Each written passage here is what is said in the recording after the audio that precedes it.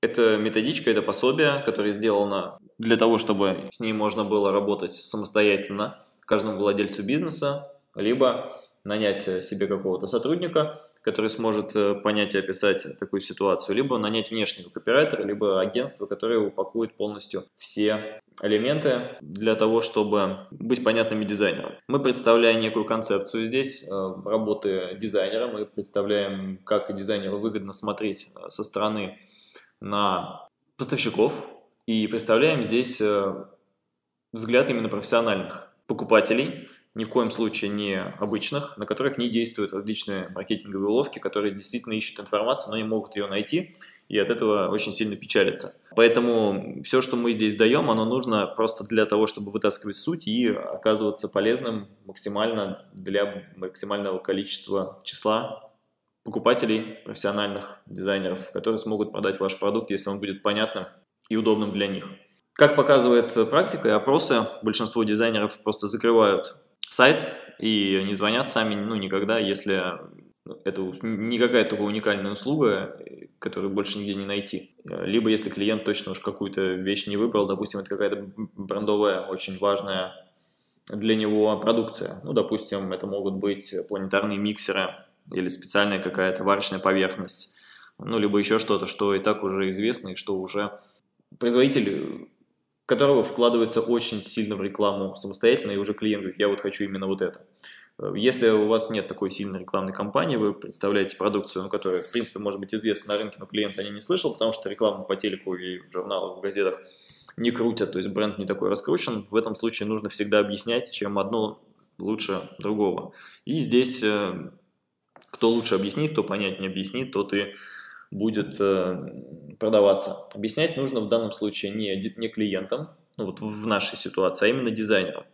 Э, дизайнеры, чтобы покупали, нужно удовлетворить их потребности. Потребности у них заработать денег, в основном, конечно, первое. Второе, чтобы не подвели. И третье, это чтобы ну, продукт оказался не, не подвели поставщики. И чтобы продукт был уместный по дизайну и качественный, ну, чтобы вот он соответствовал полностью ожиданиям дизайнера и способствовал раскрытию его э, творческого интерьера.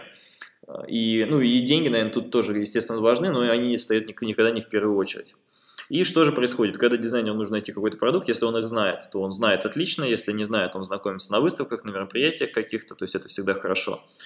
Но чаще всего мы идем в интернет и пытаемся найти какую-то информацию и не находим ничего полезного, не находим ничего нужного. Чтобы это все находить, мы предлагаем упаковать все услуги, продукты, свойства поставщиков в различные карточки, в различные материалы, для того, чтобы ежесекундно высылать все это дело дизайнеру. Когда дизайнер получает всю эту информацию, он э, анализирует, и в зависимости от того, какой у него тип клиента, у дизайнера бывают совершенно разные клиенты, бывает у кого-то эконом, у кого-то бизнес, у кого-то премиум класс, то есть у них разные потребности. И э, он уже видит э, сам, что вот для этого клиента подойдет вот этот материал и вот этот поставщик, а вот для этого случая другой.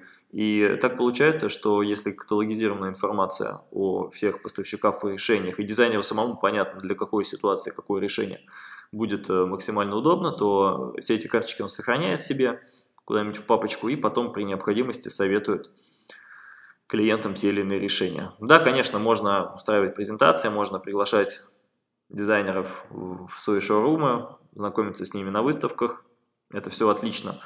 Можно даже звонить по телефону и пытаться пригласить куда-то либо продать свою продукцию. Это уже очень плохо, потому что ну, 1% только дизайнеров э, будет заинтересован, остальным будет это все неинтересно, это будет восприниматься как пустой спам. Но в, чем вся соль? В том, что если ты распространяешь информацию э, хорошую, то ты можешь ее распространить на огромное количество дизайнеров без каких-то усилий за счет публикаций в социальных сетях, за счет рассылок e-mailов, и э, за счет рекомендаций. То есть дизайнеры будут рекомендовать друг другу хорошие оформленные материалы. Это такое вот бесплатное пока сарафанное радио, оно, оно работает действительно. Вот все остальные способы, они тоже, ну, естественно, работают с той или иной эффективностью, но вот это вот, как показывает практика, как мы, как дизайнеры, сами можем сказать, самый эффективный способ. Вот об этом, во всем эта книга, о том, как э, завоевать любовь дизайнера, о том, как сделать свою продукцию понятной для него, объяснить, почему она нужна, чтобы дизайнер смог объяснить клиенту, почему одно отличается от другого, какую напольную доску покупать именно его клиенту, почему именно эту, а не другую. И чтобы это можно было сделать без контакта с поставщиком, без выезда в магазины, а вот чтобы дизайнер сразу сам знал ответы на все вопросы. Это делает дизайнера наиболее компетентным в глазам клиента, а это еще одна особенность, то, что дизайнер хочет быть экспертом в глазах клиента. Поэтому это своеобразное обучение дизайнера. И здесь еще одна хитрость, что дизайнеры очень любят, когда, ну, они любят сами обучаться и любят, когда информацию доносят э, в понятной форме, чтобы они дальше могли козырять этой информацией. Поэтому если вы как поставщики дадите дизайнеру именно инструменты, вот таких вот информационные инструменты правильные, и э, научите их о них рассказывать, то дизайнер запомнит о вас как о не просто поставщике еще одном напольных покрытий, а о поставщике, который умеет в том числе упаковывать информацию и выдавать. То есть они получат пользу. Когда человек получает пользу, у него естественное желание выразить благодарность. Благодарность это, ну, он запоминает, во-первых, это, да, что пользу получил, во-вторых, он всем рассказывает об этом.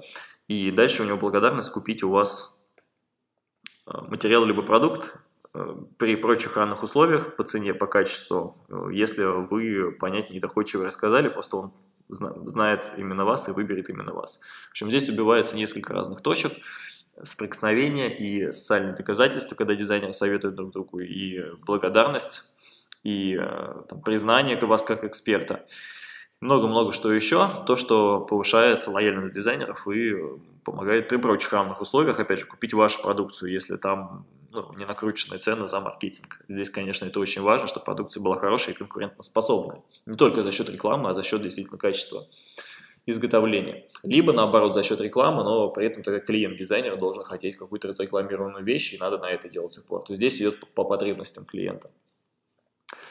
Хорошо, это первая глава. А, и результатом прочтения данной книги у нас э, будет э, понимание, как упаковать себя самостоятельно, полностью от начала до конца, что указывать, что не указывать, и э, вы сможете это сделать. Глава 1. Что не так? Здесь, в этой главе, мы говорим о том, что на самом деле происходит сейчас в жизни, то есть как мы работаем с дизайнерами, с клиентами – как поставщики работают с дизайнерами, что им не нравится. Здесь мы говорим о тех вещах, которые просто ну, недопустимо делать, и объясняем, почему именно так. То есть какие эмоции вызывают поставщики, когда э, делают э, те вещи, которые описаны в этой главе, и к чему они ведут. То есть не делайте так, как здесь написано, и почитайте объяснение почему. В главе номер два описаны хитрости. Хитрости описано с трех сторон. Что такое хитрости? Ну, это такие уловки, которые позволяют э, получить больше выгоды, немножечко, ну, либо обманывая, либо немножечко вводя заблуждение, либо не договаривая что-то для другой стороны. Здесь мы говорим о том, какие хитрости применяют поставщики для того, чтобы продать свое изделие, продукцию, либо заручиться доверием со стороны дизайнеров – на что они идут, на какие уловки и почему так происходит. Также дизайнеры смогут почитать про эти уловки и никогда на них не попадаться. Поэтому здесь двояко. С одной стороны, уловки работают, эти. С другой стороны, так как дизайнер почитает тоже эту книгу, они увидят, что сейчас ими пытаются манипулировать, и, в общем, уловки будут на открыты полностью. Поэтому не делайте так, работайте честно. Чтобы работать честно, нужно создавать понятное описание, не пытаться кого-то обмануть, тем более профессиональных покупателей. Э, хитрости бывают не только со стороны поставщиков, но и со стороны дизайнеров. Надо быть здесь честным, потому что мы тоже очень люди такие алчные и творческие на разные скидки, э, чтобы получить. Поэтому дизайнеры тоже, конечно, хотят получить максимум выгоды, и это понятно. Иногда дизайнерам поручает клиент сделать подбор и выбить максимальную скидку. Иногда дизайнер просто сам хочет это сделать и обещает золотые горы поставщику, только бы получить сейчас максимальную цену. То есть это обычная торговля на рынке, да, с незапамятных времен все это было. Э, также и здесь э, происходит. Мы, как дизайнеры, ищем самого лучшего поставщика по соотношению цена-качество риски, а поставщик э, готов, хочет продать свою продукцию максимально дорого, снабдив ее сервисом и продав, объяснив, почему за это стоит э, платить дольше. Вот э, в этой, ну, не войне, а в этом взаимодействии мы и работаем. И у дизайнера здесь тоже бывают хитрости, заключены они в том, чтобы эм, ну, различные манипуляции проводить, чтобы поставщики уступили в цене. О них стоит помнить. Но также хитрости и применяют клиенты, потому что дизайнеры хотят получить тоже агентские вознаграждения и э, присоединиться к той цене, которую клиент платит, и э, вычесть немножечко из прибыли поставщика, договорившись с ним о как бы об оптовых поставках и забрать себе вот эту разницу между розничной и оптовой ценой. Так происходит достаточно часто, это нормальная практика, потому что дизайнерам не очень много за сам дизайн проект платят.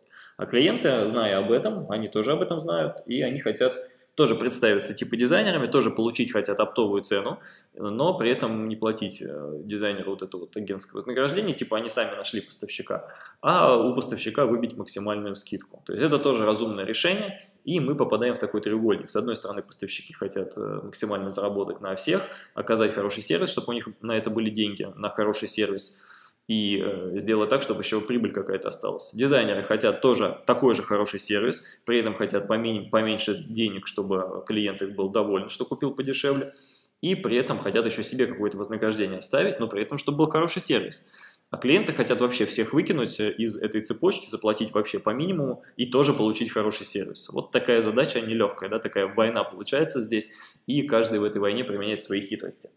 Мы в этой главе рассказали о всех хитростях, которые вообще могут быть, ну, основных, да, естественно, если будут какие-то дополнения, присылайте их нам на почту, мы их включим в новые редакции, и новые примеры обязательно включим, нам интересно будет очень послушать, может быть, и ваши какие-то примеры, поэтому обязательно присылайте, э, присылайте, в чем мы правы, в чем мы не правы, и снабдим эту главу полным списком всех тех э, хитростей и манипуляций, которые могут быть для того, чтобы получить минимальную цену, либо получить максимально выгодные условия для себя для покупки, если вы клиент.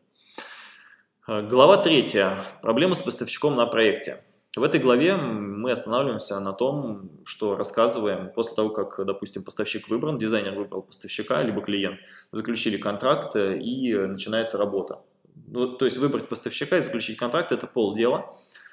Самая главная работа начинается когда мы э, начинаем работать. И здесь у многих э, поставщиков возникают тоже проблемы, которых, ну, в общем, сейчас то, что они обещали в маркетинговых материалах и перед продажей, мы должны проверить, и, как правило, это не совпадает. То есть вот тут начинается суровая правда. Когда обещают нам хороший менеджмент, э, а в итоге за менеджером надо нам бегать когда в отзывах и маркетинговых материалах написано клиентоориентированность, а по факту оказывается, что там каждая запятая в договоре, она там важна была, и надо было читать, и теперь работайте по договору, и ни в коем случае никак иначе, и мы вас предупреждали, надо было, надо было не, не слушать рекламные материалы, а смотреть э, то, что написано реально в договоре. Дальше возникают вопросы со сроками, со сдачей, с выкрасами и вот все, что там описано, то есть проблемы они будут, и э, для того, чтобы...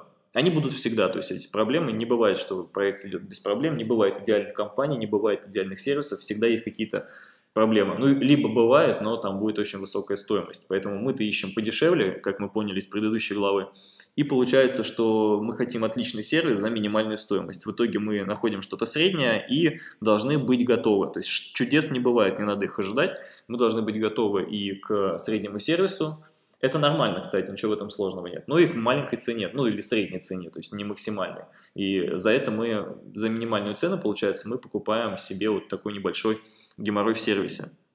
Э, в этом ничего нет плохого, ничего страшного вообще нет, если мы как клиент, допустим, доверяем все это управление дизайнеру, и дизайнер знает, как надо контролировать поставщика, он знает, где будут ошибки, он знает, где будут проблемы, он знает, что поставщик напишет в договоре, он знает, что нужно проконтролировать на производстве что-то, он знает, что когда придут э, изделия на объект, э, нужно там, проверить царапины, поместить, э, сдать на хранение, поместить все, что мы сделали с выкрасами, сравнить с образцами, ну и так далее. В общем, все те вещи, которые нужно сделать э, для дизайнера, либо для клиента, если он работает без дизайнера, указаны здесь. То есть ничего сложного, ничего страшного нет, это просто процедура, которую нужно провести.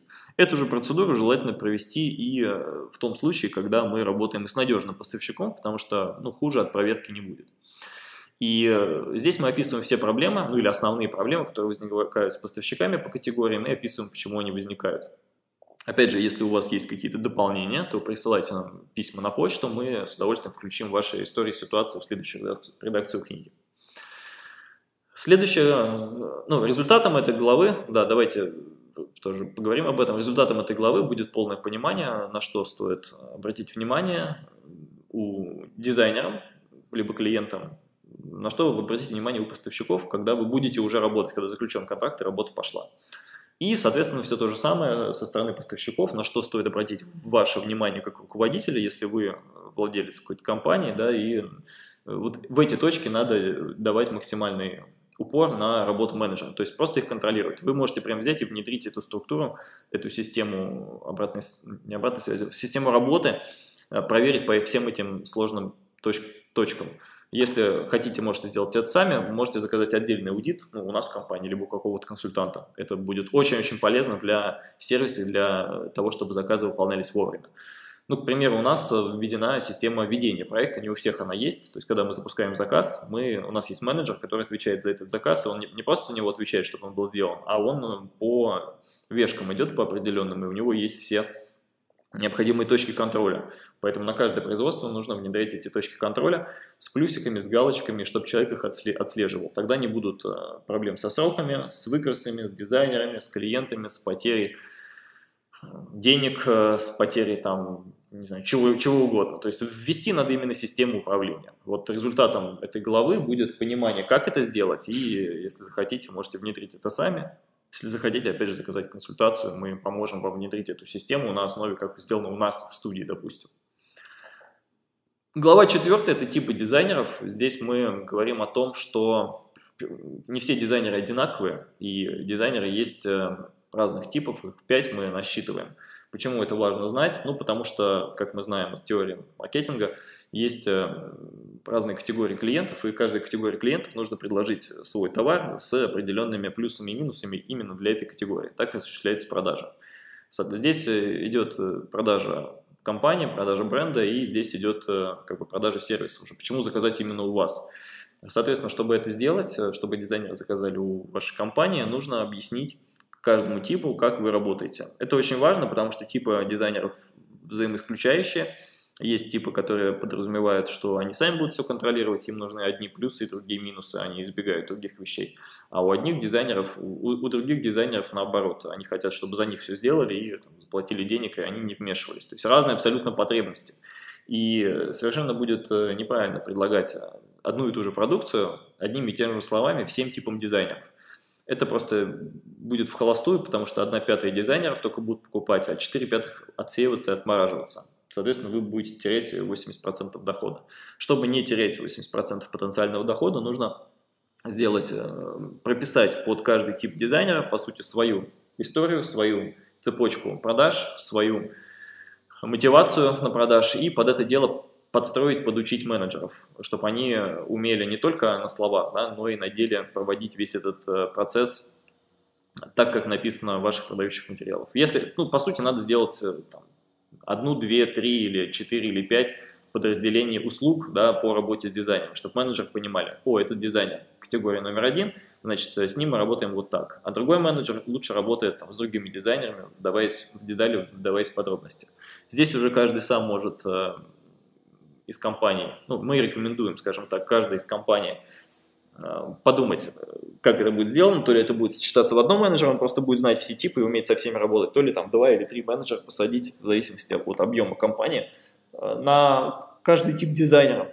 Это будет очень важно и очень приятно дизайнерам, потому что они будут вас любить именно из-за того, что вы найдете к ним индивидуальный подход. Вот этот вот пресловутый индивидуальный подход, то, что все пишут, он заключается не просто в написанной красивой фразе, он заключается именно в понимании того, что э, нужно для этого дизайнера и в умении выстроить процесс внутренний, системно, то, что мы говорили в предыдущей главе, системно, чтобы этот процесс шел так, как э, нужно этому типу клиента. И здесь, в четвертой главе, мы с вами говорим максимально детально о том, какие типы дизайнеров бывают, описываем все их плюсы, все их минусы, какие они хотят видеть в поставщике, и минусы, которые хотят избежать в поставщике. И у вас, по сути, готовы есть портреты клиентов, на основе которых вы сможете выстроить вот ту систему, о которой мы говорим. И это будет очень полезно, потому что вся эта текст, вся эта история сможет лечь в основу ваших продающих материалов и позиционирования для дизайнеров. В итоге повысится продажа. Глава 5. Как работает дизайнер на проекте? В этой главе мы хотели рассказать о том, когда ваша продукция, в зависимости от того, какая это продукция есть, может быть полезна для дизайнера. И мы расписали здесь весь процесс для того, чтобы вы понимали, где вам удобно будет встроиться и какая помощь дизайнеру нужна. То есть, по сути, это наш процесс дизайнерский, просто информация для размышления, для того, чтобы ну, понять, наверное, как мы работаем и возможно, у вас будут какие-то свои идеи, как вы можете быть здесь максимально полезны для того, чтобы э, ну, дизайнеру э, тоже было полезно работать с вами. Там даны некоторые рекомендации, посмотрите сверху вниз э, весь этот процесс, и там, где именно ваша продукция подойдет максимально сильно, вот на это и сделайте упор в своих продающих материалах, Э, и скажите, что да, мы понимаем, что вы работаете именно вот так, у вас такой процесс, и э, поэтому мы вот именно так решаем там, вот эти проблемы, возникшие у вас на этом процессе, вот, пожалуйста, с помощью нашей продукции, с помощью нашего сервиса, с помощью нашей компании. То есть, по сути, это тоже информационная история, результатом которым также будет более глубокое понимание ваших типов клиентов. Мы рассказываем здесь, как работают дизайнеры с нашей стороны. Карточка продукта, это карточка номер 6, глава номер 6. Здесь э, наша задача описать те, те продукты, которые мы продаем. То есть перед тем, как дизайнер закладывает те или иные продукты, ему нужно понимать очень много специфических характеристик. У него есть, у дизайнера есть э, бюджет проекта, Соответственно, он э, уже ориентируется, что это за клиент, какие материалы он любит и какой бюджет у него есть на все это дело. И э, получается так, что дизайнер ну, либо знает сразу продукты, либо он ищет какие-то новые, ну и предлагает клиенту. Ну, чаще всего всегда на разные проекты предлагаются разные материалы. И если у дизайнера не один тип клиентов, не на конвейере, не на потоке все поставлено, таких дизайнеров не так много, и они, как правило, работают уже с проверенными поставщиками, с которыми уже сработались на потоке. А в основном дизайнеры подстраиваются под клиента, подстраиваются под задачу, решают любые задачи. Так вот, им для того, чтобы ориентироваться в продуктах, да, нужно полное их описание. Это как пазлы, они, как, как в лего кубики, они с помощью этих кубиков э, могут жонглировать и строить любую любой интерьер. Соответственно, ваша задача подготовить вот эти базовые лего-кубики для того, чтобы дизайнер понимал, так, вот если вы производите окна, то у меня есть окна эконом, премиум и максимальный уровень, надо понимать, в чем их различие. Если у меня будет VIP-клиент, я ему предложу максимальный. И объясню, чем они лучше, чем они выгоднее. Если будет эконом, я им предложу эконом. И тоже объясню, чем лучше. Далее, после того, как выбран тип продукта с понятным описанием, там 20, 20 типов продуктов, вернее 20 типов есть э, вопросов, на которые мы отвечаем. Вы отвечаете как поставщики и сдаете дизайнеру в эту карточку. Дизайнер сохраняет эту карточку в базу данных э, поставщику продуктов. И э, дальше, когда возникает вопрос, быстренько достает и показывает клиенту, может презентовать. Это очень полезно оказывается. Кроме того, эти карточки вы можете использовать, если создадите на своем же сайте, в рассылках, в рекламных материалах. То есть это будет всегда полезно, потому что будет объяснять суть работы.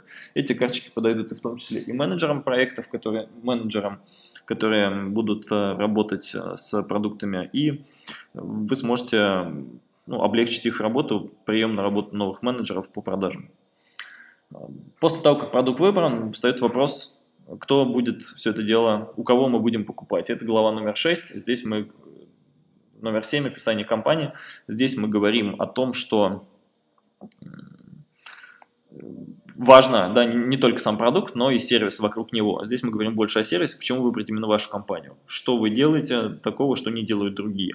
Может быть, э, один и тот же продукт можно купить максимально дешево, но без сервиса. Либо с установкой, с гарантией, с ремонтом, но там дороже на 20%. И здесь мы тоже выбираем компанию поставщика, либо завозим самостоятельно, либо выбираем компанию поставщика, либо на месте каким-то строительным способом пытаемся делать. Все это дело мы как дизайнер обсуждаем с клиентом, и если нам нужен максимальный сервис, клиент говорит, я вот не хочу рисковать, хочу максимальный сервис, то мы ищем компанию по определенным показателям. Если клиент говорит, нет, я хочу экономить максимально, ну, то есть это в зависимости от типа клиентов, тогда мы э, пытаемся привести это как-то самостоятельно, либо сделать на месте самостоятельно, либо купить там интернет-магазине и заниматься всем этим тоже самостоятельно, либо клиент сам этим занимается. Мы никогда не знаем, что захочет клиент, потому что клиенты разные бывают, у кого-то есть деньги, у кого-то нет, у кого-то есть деньги, но он их э, зажимает, не хочет платить у кого-то есть деньги, но он не хочет платить их именно, допустим, за э, паркет, но купит самый дорогой, максимально возможный домашний кинотеатр, либо аудиосистему. Такие люди есть. То есть клиенты бывают в разных категориях, э, в разных, вернее, в разных э, товарных категориях у них бывают разные экономические показатели. Поэтому одному важно пол и качество, а другому важна техника, тоже и качество техники. А кому-то техника не важна, говорит, наоборот, я куплю более дорогой какой-нибудь пол а, из дерева натурального, он у меня будет там лежать а, на века. Поэтому мы тоже не знаем, какие попадутся нам клиенты, поэтому мы должны быть подготовлены со всех сторон. Здесь э, самая главная задача описать именно нас, не то, что вот мы всем поможем. Такого не бывает. Компании всегда помогают каким-то определенным категориям. И здесь очень важно понять, дать понять вашему потенциальному клиенту, дизайнеру, вот в каких случаях обращаться именно к вам. вам у вас дешевле будет, у вас быстрее будет, у вас э, какая уникальность, какая уникальность по сравнению с другой компанией, почему именно у вас стоит купить тот продукт, который мы уже выбрали. И здесь очень тонкая грань, ни в коем случае нельзя смешивать э, карточку продукта и карточку поставщика, потому что продукт чаще всего, если он совсем не уникальный, можно купить у разных поставщиков. Сначала мы по процессу нашей работы, мы сначала выбираем что именно здесь будет. То есть выбрали натуральный паркет. А теперь у кого это купить? А всего там компаний 20 или 30, например, ну, достойных, у которых можно купить. И мы их, начинаем их сравнивать. Открываем сайт, и у, везде, у, у каждого написано, у нас идеальные условия, у нас лучшие сотрудники, у нас самая лучшая клиентоориентированность и подобный бред. Чтобы этого не было, хочется, чтобы у каждой компании была своя специализация, своя специфика, и мы понимали, чем вы действительно лучше, а чем не лучше для какого типа клиентов самое главное. То есть мы за прозрачную вот эту историю. Результатом седьмого главы описания седьмого, седьмого модуля, седьмой темы у вас будет полностью сформированная ваша карточка компании, которая может, по сути, уникальность компании, с помощью которой можно сказать, что вы максимально полезны вот для таких категорий, вот в таких случаях. И дизайнер, если получит э, себе в работу именно такую категорию клиентов, именно такой случай, он будет э, очень доволен, он из всех остальных компаний 30 выберет именно вашу, потому что вы заточены под него. Это очень круто. Здесь не надо ничего выдумывать, здесь нужно просто прописать, что есть у вас, а для этого надо вытащить. И если, это можно сделать тоже с, с помощью тех 20 вопросов, которые есть, э, информация о себе, описать честно ее без э, использования различных маркетинговых приемов, просто честно, подробно, понятно, без абстракций, с примерами написать, в чем вы хороши, а в чем вы не очень хороши. Это вызовет доверие. Все, все вот эти действия нужны для доверия, как а доверие – это элемент продаж, без этого не будет никакой сделки. А, глава 9, вернее, глава 8 покажет нам договор и условия. Здесь мы говорим о агентском договоре с поставщиком, потому что дизайнеры хотят получать деньги как их получать.